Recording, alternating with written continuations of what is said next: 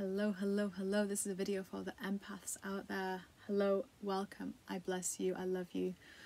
I welcome you to this video. Empaths, you feel everything. Oh, you feel everything and you absorb everything. Yeah, I know. I know. I know, I know, I know. Believe me, I know.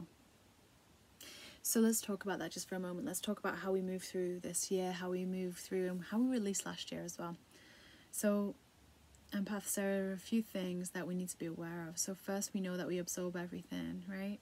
Whether you're walking past a newspaper that's got some low energy stuff going on inside it and you absorb that, whether you hear something in passing, whether you go past a group of people, right? You're absorbing, absorbing, absorbing. So the first thing is we need to protect our energy and we protect from love. We don't protect from fear. We don't protect by putting up a boundary. We protect by sealing our energy field, by calling in, by receiving from the Divine Mother Father and filling our own chalice, brightening our own light before we do anything else, before we see anyone else empath, light worker, even starseed. Check the other two videos I did on this. There's really good videos, really good messages in both of them. But just as a bit of practice, we should never be sending messages to anyone. We should never be sharing with anyone or communicating with anyone until we have secured that. So if the first thing you do is wake up and you go and check your phone, you go see to your family before you've spent some time just reconnecting in your awakened state, in your being awake after sleep, state, the first thing you need to be doing is filling your energy up first with that divine light, that golden light. Just let it fill you up, let it surround you, let it embrace you, let it hold you, and let it walk with you so that it can transmute and only allow things in that are of that divine love. At the end of the day, clear your energy field, don't take it to bed with you. Choose who you're contacting, choose who you're touching, choose who you're being with. Every time we touch another, and I know there's a little bit of restriction around that right now, but every time we touch another, you know, we're exchanging cellular memory, cellular energy, things as well. So I say this to you, empath, because you absorb so much, and um, you don't have to, really, is what I'm trying to say. Is that, and even if you do, you can still release that and ground that. You know, you Empaths absorb because we're here to transmute, we're here to release, we're here to ground it. You're healers. After all, an empath is a light worker, they really go hand in hand. You don't need to accept or receive anything that isn't yours to receive as well.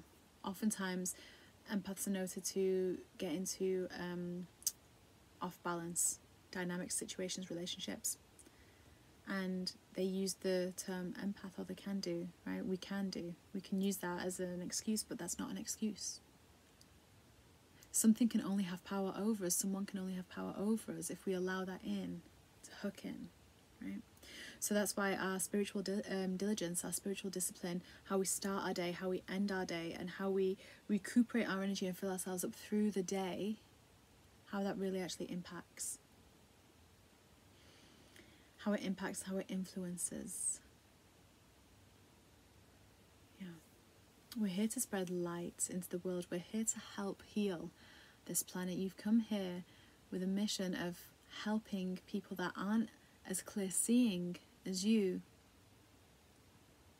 to really help the whole world transcend what it's feeling, but we can't do that if we choose to remain the victim by giving away our power, by saying, it is because of this that I'm sick, it's because of this that this, it's because of this that this. No. That's the biggest kind of red herring we're thrown in this lifetime as an empath. Is we think that it's a condition rather than a gift, rather than an honour. Don't let it be a condition, don't let it be a disability. Allow it to empower you, allow it to run through you, allow it to really become a part of you and allow yourself to understand the full dynamic of what that entails and why you were gifted with that ability. Okay. I see you, I hear you, I love you. Do be sure to really work with that energy field, do some breath work, reach out to me if you would like any guidance, anything specific. I'll do a video, I'll put a video out here for you to help guide. Because if you're asking it, I can tell you there'll be a hundred others that are asking it easy. Okay. And just choose where you're allowing your energy to go.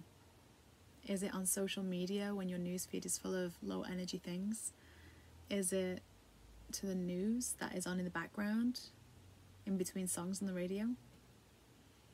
Or are you spending your time out in nature, connecting with your animals, speaking with loved ones, creating, and really doing things that fill you up? Because that's what we're here to teach as well, right? I love you all. Thank you so much for being here. It's always an honour, a privilege, and a blessing. So much love, joy, and abundance to each and every one of you.